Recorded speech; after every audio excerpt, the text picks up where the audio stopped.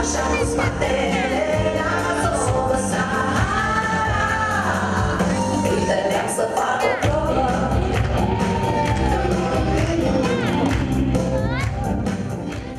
Aproape 100 de copii din țară, dar și de peste hotare, au urcat pe scena buzoiană în weekend. Festivalul internațional s-a desfășurat pe două secțiuni, copii cu vârste cuprinse între 6 și 14 ani și tineri cu vârste peste 15 ani. Cu toții au avut emoții când au interpretat melodii celebre ale regretatei artiste din Buzău. Am participat la acest festival minunat. Vin din Republica Moldova, de, din sudul Republicii Moldova, din Basarabia sau România de peste Prut, cum îi spun eu.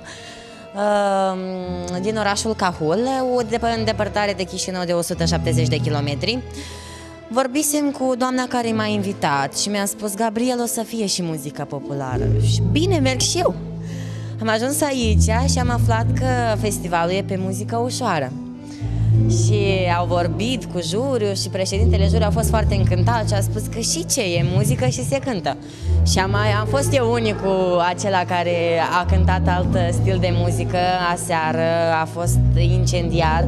Pare rău că n-a fost sala plină, dar uh, în momentul când am ieșit pe scenă nu-mi place să mă laud, dar s-au ridicat în picioare și au chiuit și au dansat și juriu și toată lumea și mă bucur mult că am venit sunt prima, pentru prima dată în Buzău E un oraș foarte frumos. Este prima oară când particip la acest uh, festival și am interpretat uh, melodia Sunt o româncuță și în altă limbă, în limba franceză, Comment ça va?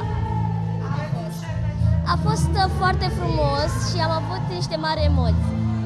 Da, am mai fost și anul trecut și tot cu aceleași melodii am participat cu Les Petit Piedelea și cu Tinkerbell.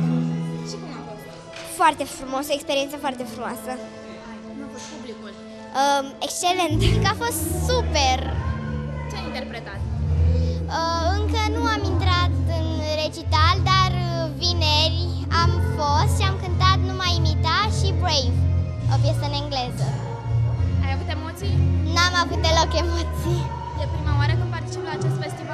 Nu, este a treia oară. Am luat și trei premii. Am luat uh, premiul întâi. Am luat um, o diplomă pentru participarea în uh, un festival în Turcia și o vacanță de două săptămâni la Mamaia. De la an la an, festivalul aduce voci noi, copii și tineri talentați de care, cu siguranță, vom auzi și peste ani. Foarte frumos, pentru că este, pentru noi, cel puțin pentru familia Runceanu, este o satisfacție imensă, pentru că vedem că, într-adevăr, Mihaela a însemnat nu numai pentru noi și pentru, pentru cei care au rămas după ea, a însemnat foarte mult. Iată, faptul că ea a fost profesoară de, de canto, se vede și în faptul că acest festival aduce an de an noi voci sau voci care au fost anii trecuți, de care evoluează de la an la an. Este ceva extraordinar.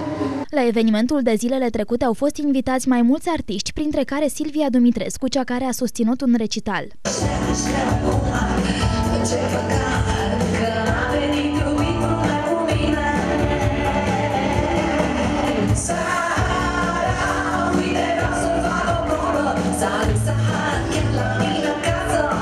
Festivalul de muzică ușoară pentru copii și tineret Mihaela Runceanu pentru voi Moguri Noi s-a aflat la cea de-a patra ediție. Evenimentul s-a desfășurat de vineri până duminică și a fost organizat de Asociația pentru Tineret Buzău 2010.